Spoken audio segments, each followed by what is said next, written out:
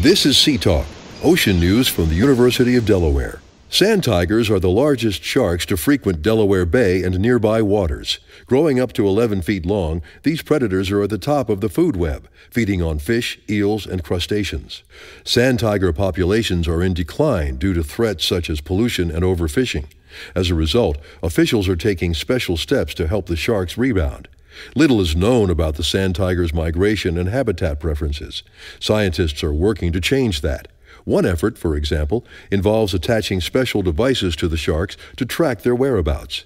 An underwater robot helps keep tabs on the sharks while testing nearby water conditions. This information may shed light on sand tiger behavior and help with protection efforts. This is Sea Talk, a public service announcement from the University of Delaware, the Delaware Sea Grant College program, and this station. E...